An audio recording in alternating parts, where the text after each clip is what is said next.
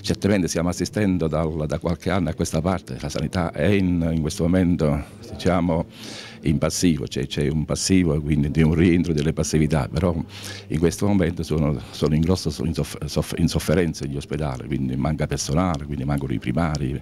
quindi grazie agli operatori sanitari attuali con il loro sacrificio cercano di assicurare i servizi. Quindi già questo è, è, un, diciamo, è un lato negativo perché